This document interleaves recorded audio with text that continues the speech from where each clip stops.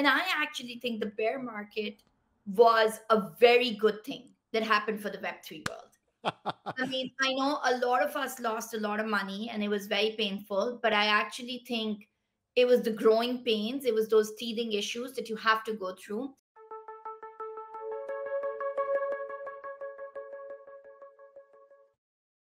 Hello, everyone, and welcome to Mutual Knowledge. And today, my guest is Mariam Nusrat. I hope you guys are buckled on your seats to have a great trip because we have a person here with a huge CV, former founder and CEO of Breshna.io, the no code game creation engine and platform, and she will talk about that, of course. She's a, seasoned entrepreneur in the world of Web3, and she also won uh, the prize at the Web Summit, and she even was invited at the Clinton Foundation on stage with former with former President uh, Bill Clinton. So that's quite a huge celebrity we have here in the world of startups. Hi, Mariama. Happy to have you here. Hi, Gautier. Thank you so much for that very warm, very kind introduction. It's a pleasure for me to be here and to talk to you about all things Web3, Web2, Web 2.5, 2.6, all of that. So excited to get into that. You know, I, I have a sweet spot for startups and for entrepreneurs, myself being one. Uh, but I also have um, a sweet spot for um, what you're doing uh, at Breshna because I always sympathized with the guys who have a you know a rich mental universe and who like creating video games but who are not really into coding. So that that's typically why I'm super happy to have you here. So first question, what are you um, what are you doing these days? What is the the activity of on your whole CV that takes the the biggest amount of time in your week? A hundred percent. So, Gautier, like you said, I'm the founder and CEO of Breshna.io. And Breshna is a no code game maker platform that allows people to make their own video games no coding, no design skills, and at lightning speed. The word Breshna actually means lightning in the Pashto language, which is my mother tongue. I'm originally from Pakistan. So, video games in less than 15 minutes. Um, anyone can make their own games. Again, no coding, no design skills needed. It's almost like the Canva for video games, right? And one of the things that we're doing is not just changing how video games are created, but also how they're used. So, we're saying you can make mini video games for education, social impact, marketing purposes. So if you want to make like a Super Mario game where you, um, the teacher is like, hey, catch the even numbers and dodge the odd numbers, like Super Mario or something, or like catch all of the flags of countries from Europe and dodge everything else, or a Mythbuster game about Web3 or something. So anyone can make a game about the topics that they're passionate about and they can distribute it as a simple URL link. So the big idea behind Breshna is what Canva did for design, what TikTok did for video, we're doing for video games. It's interesting that you used all um, all these examples that come from the world of education because I so I know you were an, an education specialist uh, at World Bank well, Group, um, and it's interesting because I I love learning languages and I see so many teachers using uh, basically very basic Kahoot question uh, questionnaires, forms, and little games in order to recognize to well flip tiles and recognize words. So we could find something which is even funnier um, for people, at least for the fun part of languages. And uh, is it possible to make other games with Breshna? A hundred percent. So you can make your own scavenger hunt games, your own racing games, car racing games crossword puzzles, jigsaw puzzles. Like, you know, it's like, I mean, uh, maze games and everything. It's like there's whack a mole, there's Wordle, learn with letters. So there's a bunch of, there's actually 22 templates on Breshna right now that you can leverage and make your own video games. And we keep adding templates and we're actually going to open it up as well so other people can submit their own templates as well and then there's like a rev share model and everything so it's really interesting because for us it's um you, actually it's really funny Gautier you said that because a lot of teachers and especially at web summit qatar when we won the pitch competition where we were number one out of a thousand startups i had teachers walk up to me and they were like this is kahoot on steroids. This is and i was like you know i mean i am a huge fan of kahoot and i am a huge fan of canva and one of the benefits of being a founder that builds on the shoulders of giants like that is that you're able to you know really really leverage that momentum. We know that people realize the power of video games. We know that people are hungry to make their own games but they're very expensive complicated and time consuming to build. So we were like, you know what, let's just break the time, skills, and cost barriers of making games and empower the next 100 million people so they can tell their stories through games. Yeah, so they can learn useful skills. Uh, I know that sometimes when you want to be really excellent at something, you have to. Uh, the, the, Chinese have um, the Chinese lore has a quite interesting wording to say that they say eat bitter. Like you have to. th- th- there's a point be- uh, beyond which, if you want to to attain a certain level, you have to eat bitter and to. Yeah uh, and to do a very painful grind and uh, something that is not immediately rewarding. That's uh, that's interesting, but at least for the fun part and the fir- and for the the complicated um, first steps that motivate you to see what the the discipline is about. Uh, the field is about that that would be lovely indeed. And so do you think there's uh, also a market for that in the in the um, still uh, prolific world of indie gaming for example? Let's say i want to make an rpg that is totally not ed- educational something just for you know to, to express my, my internal universe, which could be rich depending on the person. But I'm not a coder, for example. I don't like doing that, and I don't have the budget to hire uh, 15 people in order to to program a phys- physics engine or something. What can I do with that? A hundred percent. So there's a couple of things Gautier. Is um first of all, if you look at the gaming world, there's a lot of low code tools that are built for game developers, right? So there's Buildbox, Unreal Engine, Unity, it's like Bot.io. I mean, even to a certain extent, you can even consider Roblox, right? And everything to that extent of being like, hey, if you already have a knack for game development, you want, you have hours, but you just don't have the coding knowledge, then here's like, you know, a basics. And even then you are interacting with code, right? Like there's some code to it and everything we realized that there's a there's a huge gap. So like if you look at the gaming world it's moving more towards the high end. Hey like you know i mean the mmorpgs the open world the ar vr games. But if you look at the most um, um, most common most famous genre of games it's still hyper casual games. It's a billion dollar industry. People are playing these these small games and actually yes, snackable content like tiktok is is on people's mind right now. This is the generation of bite sized, snackable content. They want fast, they want to go in, they want to play it, and they want to leave, right? And everything. So, what we decided was that just like you can't build a Netflix documentary on TikTok, you will not be able to build a AAA game on Breshna. But you will be able to make a lot of hyper casual games that are at the moment relatively basic. So, we're almost at the lowest hanging fruit, the lowest denominator of just very hyper casual games that you can create.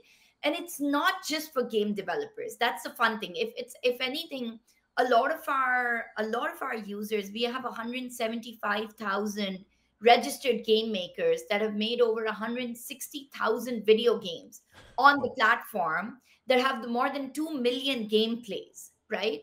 And most of these people are actually non-tech and non-gamers it is the people like you know it's the teacher in south africa it's the mother in pakistan trying to make a game about healthy eating. It's the it's the it's the teenager in europe making a prom proposal game or like a sports trivia game right and everything. So it's really this idea of very fast hyper casual games. It's the business owners that are making marketing games and then disseminating them through social media. So that's kind of that sweet spot where we are, the user persona of like flat learning curve, lightning fast, no coding at all. Mm, wonderful. So this brings us to uh, the question of uh, Web3. How, so Web3, the blockchain industry, cryptocurrencies, all the decentralized and distributed systems. Basically, how did you come in contact with this industry and how do you implement that at Breshna or in your other companies? Yeah, so it's really interesting, Gautier. When we started building Breshna, it was a complete Web2 play, right? We were, if anything, we were Web3 skeptical of Web3, right? We were like, I don't know what's going on, but I mean, sounds like a little crazy. I don't want my users to get overwhelmed. You know, I mean, things were really not user friendly, especially in the early days and everything. So I was like, I don't know what's going on. But when you're in gaming, ownership, monetization, you know, these things are almost like built into rewards. These things are built into games from the from the old days, right? I mean, if if you think about it, CryptoKitties um, was one of the first um, you know deployments of nft technology and that was a game and everything right? So it's like so we, we basically were like okay there's something here but we were very skeptical. But we started getting approached by web3 investors. So we were raising our our seed round where we actually raised 2.5 million dollars from investors like paris hilton randy zuckerberg bill ackman's family office like a bunch of really cool web 2 and web 3 investors. And our web 3 investors were like hey you know what? Like let's launch a token. Like the market is hot right now. You can do equity but like you know i mean it'll be so cool to also have a token and everything. And i'm an economist by academic training. I spent you know 12 years working at the world bank and i mean it, it, like i am very hardcore. I understand the supply and demand of currency as my academic profession right? And I think I was seeing so many Web3 games or just Web3 projects that were launching. And I think what they had Gautier was token market fit. And they kept confusing it with product market fit. Ah. Do you know what I mean? Yes, absolutely. There's a demand for their token, but it's by speculative investors, it's by speculative traders. Their user persona is speculative traders it is not the underlying utility of for instance for web3 games players or game makers right so like a lot of these web3 games the users that they had were not there for the product they were there for the token mm-hmm. right and i wanted to make sure that when we launched the product we could establish product market fit without any noise of a token or any other thing because it's just like then you're not able to tell who came for what reason. Because you i mean the ulterior motives are hidden right and everything. Then you're like who's in my who's in my who's on my platform and why are you here? So i think for me i just wanted to keep it so pure almost almost to a totalitarian approach where we were like we're not going to take any other noise except i just want people who want to build games and i want to know why they want to build these games where are they using them? Just like you were saying like is it is it an indie developer? Is it a teacher? Is it a is it a small business? Like who are these people that want to build games? So all throughout 2022 and 2023 we resisted the pressure of launching a token and we established product market fit. Like we were like who are our user personas and what do they want? Now the sorry go ahead. Do you have a question? No no no, no no no. I'm listening to you. That's uh, that's fascinating. Keep going. It's re- it really is right? And then when we when we establish product market fit so now we have this no code game maker platform and we built it and people are making games. But then our users started asking us hey so i make one math game on Breshna. that's cool. It's a url link. I can put it on my website. I can put it on whatsapp. I can take it wherever i want but actually i've made 10 games on Breshna. And I want one place to be able to showcase these games. And I also want to make money on them. Right. Okay. okay. So we were like, okay, that's interesting. What about if we built you a 3D virtual carnival, like a metaverse, where you would have your own carnival stands, just like a festival, a carnival that you go to. Yeah, a, a, booth. You go to people's game game stands. So here, if you've made 10 Web3 games on Breshna, you can have your own carnival stand where you display these games and you have your community come to your 3D virtual immersive carnival stand. And that's where they play your 2D games in the 3D environment. And that's where you're able to say, hey, Mariam, the first game's for free, but then the second game is two Breshna tokens. And then the third game is five Breshna tokens, because if you unlock level five, you get this, this reward or this discount and everything, right? So this idea of monetization showcasing and ownership started to come up. And we could do it through fiat, but our users are actually our top five countries are Pakistan, US, Saudi, Nigeria, and Indonesia. Now, Saudi, Nigeria, and Indonesia, a lot of our users are unbanked. If they make $5 in the in Breshna and then end up spending $25 in Western Union to, to transfer that $5, it's not working. Fiat is broken. So we ended up moving into Web3 because Web3 was the thing that made sense, not because it was like we're a Web3 company. Now let's figure out why we're using Web3, but actually because our users asked for us. Wow, that's lovely. So, f- first of all, thank you. I have little butterflies in my heart when I hear speak about that because um, not only about the gaming industry, but that's something that is sometimes very pain- painful. Anyone who's been working in the Web3 industry for more than a year has been to a convention, and that person win- will always have the very painful feeling that most projects are, are just people blowing wind into a money bag, trying to, to draw attention from the investors. And it's actually very painful because there's really no re- real reason to to invest in these projects. Most of the time, the, the life of a, of a Web3 scam entrepreneur, if, uh, so to speak, is just to just, you know, tickle the the sweet spot of the investor and tell that investor that the FOMO is coming and that you know you should invest in that because it's going to be the next trend and you don't even know what it's about. So Yeah. there there will always be one uh, nouveau riche, a guy who's basically uh, uh, a person who's earned recently money and that or a VC that has one spare project to to you know to just waste on something risky, one, spare investment to waste on something risky. So there will always be some kind of uh, of investment coming here, but that's always going to be pointless. And so many companies are just using the world uh, the word Web three without actually selling anything that is that is solid for users. So I'm really happy to hear that, and I'm I'm fascinating to see that here again the the Web three industry can help people who are unbanked or who are facing a bureaucratic nightmare or a, a currency a currency issue. To basically, it can help many honest people um, when they want to make a living because the the banking system is flawed in a, in a way Web three isn't. So thank you so much for that.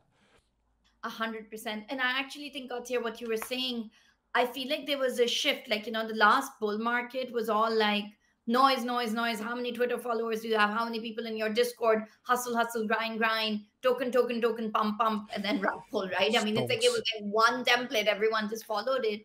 And I actually think the bear market was a very good thing that happened for the Web3 world.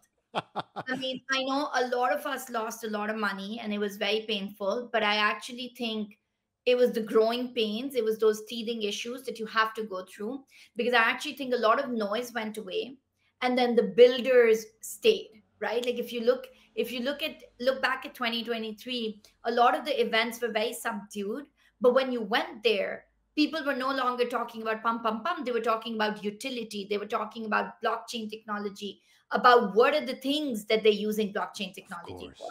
And I actually, I I mean, we're about to launch our Breshnaverse and our token in the summer, and we're doing a pre sale right now and everything. And it's really interesting because there's a special kind of, I think, as a founder, we get very hungry about chasing yeses. Like, hey, are you going to say yes to my project? Are you, Mr. Investor, going to say yes to my project? but i actually think the real skill is the ability to say no it's what you were saying that that new money that money like cheap capital there's a lot of cheap capital out there. And you have to be very selective about who you let on this journey because if you're building a sustainable company not a mm-hmm. sustainable token not a if you're building a sustainable company then you're going to need the right kind of partners on your journey. So i've actually started saying no in a lot of places no to a lot of money because you need to understand that if your if the values are not aligned if their motives are not aligned then they're going to pressure you into doing that pump pump pump so that there's a dump. Like i mean you know obviously at every pump is followed by a dump. So i think like for me it's really important to know what kind of people join your journey. And now with this new bull market i'm really hoping that we have a better quality pool of people builders and investors within web3 That's wonderful. So, so I- love it because the, the take that the bear market is actually a good thing is interesting because every system needs sometimes some kind of self regulation mechanics. And now that you mention it, it's interesting because the last two, three conventions I've been to were really different and uh, we didn't have so many people, you know, chasing the, the dream of making a quick buck. Um, so uh, th- that's really, really uh, an enriching perspective. Uh, that's quite uh, quite interesting to see that. And so, is there more uh, about Web three? Is there more that could be implemented, in your opinion, for you know regular businesses? Some uh, businesses that are basically Web two businesses on uh, on steroids, or are there other use cases that Web three could bring in order to really reinforce the the trust in this industry and to basically draw more users to to Web three in general? What do you think about yeah, that? Yeah, hundred percent, Gautier. I I actually feel like one i think this idea another myth that i think we need to bust is this idea of web 2 and web 3 like it's some border some country border that you need to cross where now you are in web 2 and now you're all of a sudden in web 3 i actually think it's a very porous it's a very a fluid um, you know it's it's not binary. It's a very fluid kind of scale where you can be like a web 2 company but you can be like a web 2.1 2.2 2.5 2.6 2.7 web 3 right and everything. Like i think that journey into web 3 is really about how much of blockchain technology are you leveraging? And i think when a business wants to ask do i want to use web 3 technology? I think there's two questions that they probably want to consider. Is one what is it going to do for my user journey? And number two does it make a business case right? So i think what's really interesting like if you think about it Gautier i feel like web3 technology has become all about um like go shiny acronyms and jargon and you have you're like very cool if you're like you know using all of these like you know i mean all of these acronyms and all of these these terminologies. And i actually think like if you click let's take for example cloud technology. Now your user does not care at all which cloud you're hosting on. They've never asked you is it azure? Is it aws is it ibm like where is it? How does it work under the hood under the hood of the car they don't care. As long as the engine works and as long as it gets them from place a to place b that's what they care about. Same case applies for blockchain technology for web3 they don't care what chain you're building on. They don't care what what wallet you have. They don't care what swap. They don't care. Those are not the things they care about. True true web2 users care about transparency. They care about ownership they care about efficiency they care about saving money right so if blockchain technology can allow them to own their content like for instance in, in Breshna we uh, blockchain technology allows our game makers to own their games to monetize their games to take their games out of the Breshnaverse, to take the value that they've made in Breshna out of the Breshnaverse and take it with them, with that ownership and monetization and that decentralization. That's what matters. The transparency, the accountability matters. So I really do believe that when businesses are thinking about blockchain technology, often they'll go at it from the other they'll be like this is the cool thing to do. So now i need to be web3 um, company because everyone's throwing money at web3 companies. But actually and same's the case with ai actually. Like i think ai now everyone is building ai for the heck of building ai everyone was building web3 for the heck of building web3 and i actually think the user journey at the end of the day does it make your user's life easier cheaper faster? What is happening to your user journey? And if the answer to that is yes and if there's a business case then 100% i think web3 has a lot to offer. That's wonderful. Okay so basically you are focusing on the real experience of the end users and not only on, on these people. So so breshna is not only kahoot on steroids because uh, your business model is quite is also quite different because of the implementation of web3 so how does a company in the in your field um, how, how do you guys make money while uh, allowing all the others to to earn their own money? Because if this is Web three, you're not. I assume you are not taking a commission. You didn't create a custom token. You didn't fall into all the the, the traps that uh, that anyone can fall fall in. So how did you how did you manage to do that? I think Gautier, it's very interesting. Like Web two and Web three business models can have a lot of overlaps, right, and everything. Because I think with Web three the only business model is always token accrual. They're like, we're going to launch a token and then the token price is going to go up and our treasury is going to go up and that's how we're going to make money. And that's actually a very bad, wrong answer. You know, it's like, I mean, that's that's probably not the best behavior. But okay, so if you look at it on our beat, on our like on our revenue streams, we have premium subscriptions. So just like Canva, right? Like you can go make a game on Breshna for free. But if you want really cool avatars, if you want AI generated artwork, if you want really cool data insights into who's using your game and all of that, all of these premium features, it's it's a premium subscription model, right? And everything. Then you have immersive advertisements within the Breshnaverse. So now you have this virtual carnival, this fully blown, like, you know, festival where people are coming in, they're playing games. So you have all of these. You can have the Ferris wheel, the cotton candy machine, all of those, where you can have your immersive advertisements.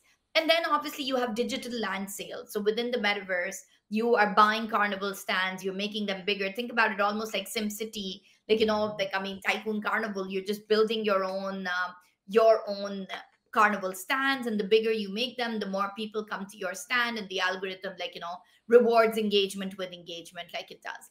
So those are revenue streams that could be web 2 or web 3 wherever you put them. But what we're saying is within the breshnaverse and the whole breshna ecosystem you have a breshna coin.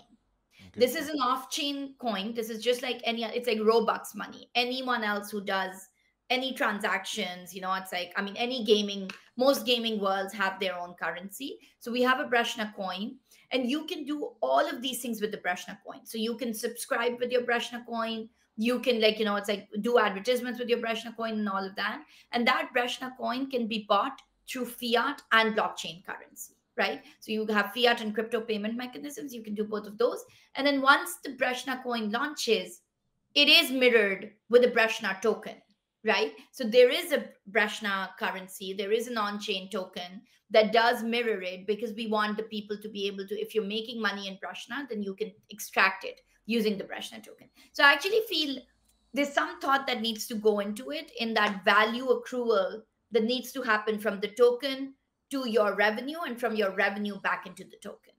And so, what do you think about this? Uh, okay, so the token trend is kind of um, going a bit down. So we can see that there are fewer people who are thinking, oh, let's make a dumb token just because, you know, basically it's an ETH token with, uh, it's Ethereum, but it just has a different name and it's uh, different Ethereum with a different marketing, and that should be okay to earn some cash. So most people are not doing that anymore.